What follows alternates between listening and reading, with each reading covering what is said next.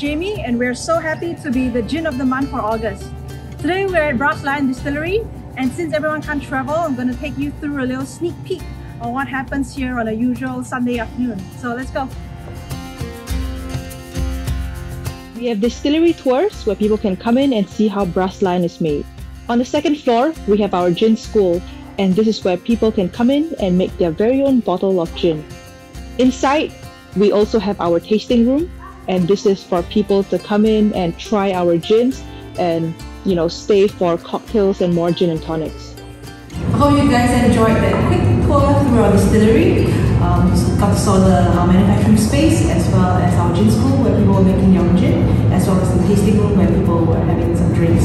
And I know you guys can't come and join us right now, but hopefully once borders open up, you guys can come here and join us at Lion for a drink.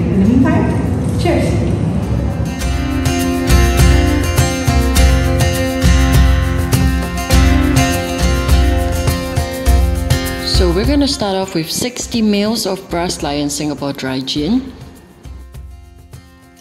If you're using mango puree, use about 45 ml. And if you're using fresh mango, use about half of a fresh mango. Pour that into the blender.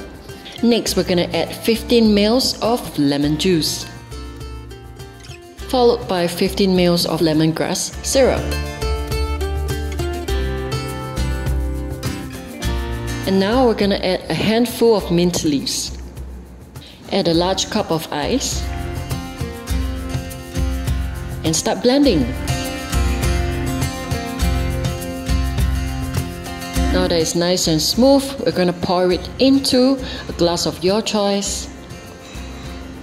And we're gonna top it up with a sprig of mint leaf. Simple as that. Enjoy guys!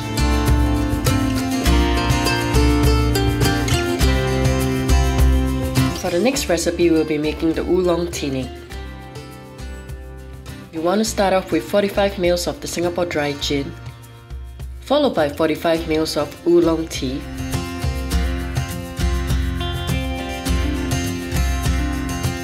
add 10 ml of honey,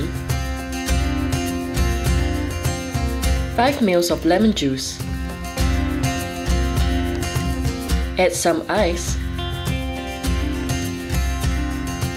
stir it well.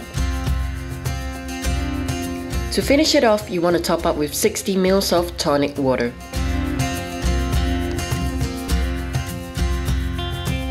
Just give it a gentle leaf. Garnish with a slice of lemon and mint leaf.